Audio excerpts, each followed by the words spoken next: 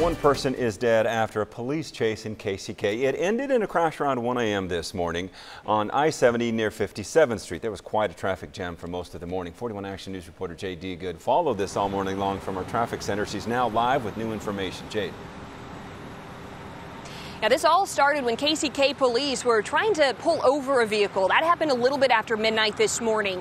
Inside that vehicle was a male driver and then a woman who police say seemed to be unresponsive. That woman, 29 year old Chrissy Sales, was the one who was found dead after this crash. We're showing you some video from this morning around 1 a.m., that fatal crash. Police tell us the driver, 24 year old Colin Cross, would not stop, actually running into a police car before the chase even started. The suspect took police over to the state line, then back into KCK. At one point, the driver was going the wrong way on several interstates, including on I 70 before that crash.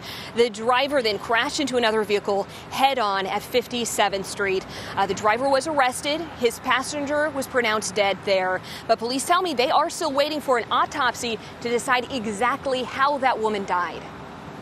We have to call it a fatality until we can do an autopsy and determine whether or not she died in that car crash or if there was something that happened before when the officers full, first pulled up on her.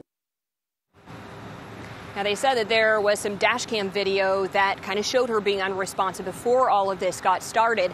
Thankfully, the driver of that second vehicle that got hit on that head on crash is okay, only with some minor injuries, police tell me. KHP, they'll be taking the lead role in this investigation. KCK, of course, will be assisting with that, and they will be in charge of handling any criminal charges in this case. Reporting live, Jade. Good, 41 Action News. Jade, thanks.